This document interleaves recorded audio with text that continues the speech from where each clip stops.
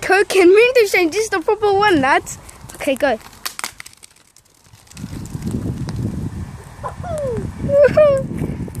oh, some crap. Not joking.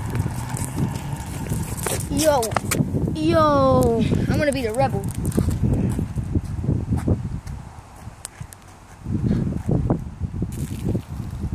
Now break the throne. Sick, Elliot. It nearly went on this freaking car. Sick. Look, Wait, what? What almost went in this car?